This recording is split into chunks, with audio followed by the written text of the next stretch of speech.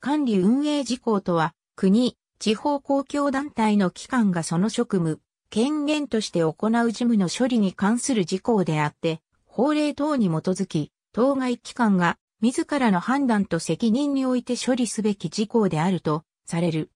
具体的には、行政の企画、立案及び執行に関することや予算編成に関すること等である。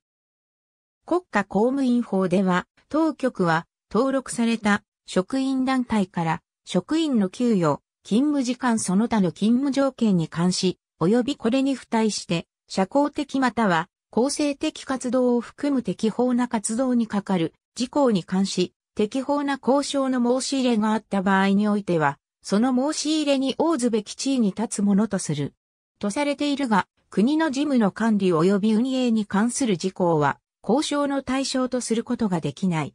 とされている。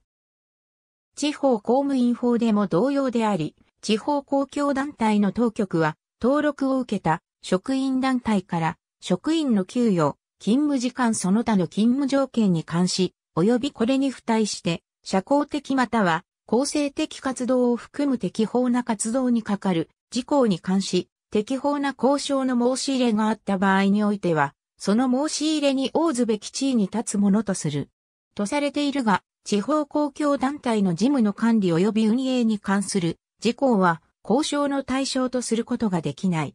とされており、一般職の公務員については国、地方を問わず、職員団体の交渉事項は制限されている。職員団体が労働条件であると主張しても、交渉の相手方の各省庁や地方公共団体が管理運営事項を振りかざして交渉を拒否するケースも散見される。